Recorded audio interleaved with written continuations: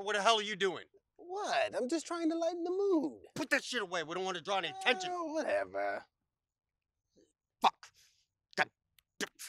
Why am I surrounded by morons? Yo, Jason, chill out, man. We're out here looking for some mamacitas to give some candy and take home.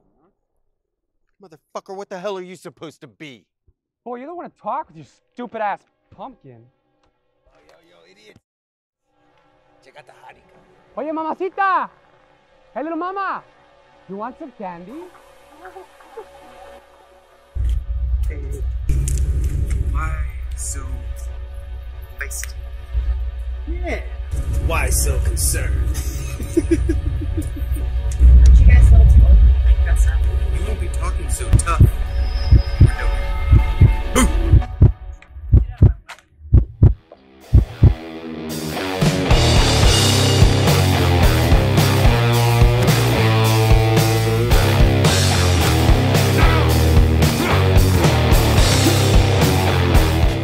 about some time.